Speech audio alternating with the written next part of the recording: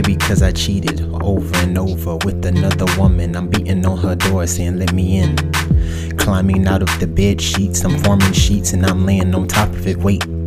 Inside of the bed, she was my lady before. Now another lady's laying next to me while she's at work.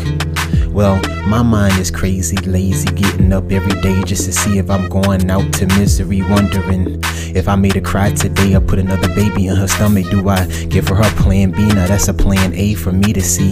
Now I go out and then I form myself. Why do they hate me? Cause I tell lies to them every day. Tell them I love them and how I wanna give them babies and put it in their stomach. Reproduction is just inside of my words, so I kiss it, then I be out. I'm out inside of it. I'm giving them love that they can't even feel, so they say I'm number one.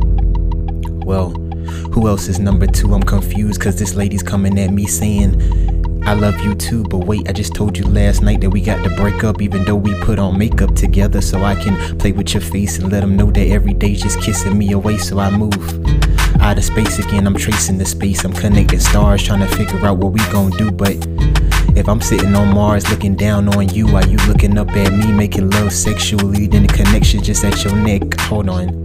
Can't talk about that, kids are paying attention to what I say. But I will say this, they hate me cause I simply went out and looked at them and told them that they was my only one. Now they shine like the sun. I give them flowers and roses, give them candy for Valentine's Day. But then on Valentine's Day, I gave another lady flowers on Valentine's Day. Took the same flower, cut it off, and gave her a flower so I didn't have to pay for another one.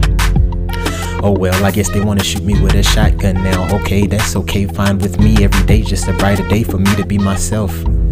I'm sorry that I told lies to you, telling you how I was gonna buy you a house and a car, and we was gonna sit in the back and look at it and say we can afford it today and we just ride clean. But I saw another lady that body was banging better than yours and her voice was more softer. So I'm just giving the softness of myself, but I give you tissue to cry and say, oh well, am I an asshole?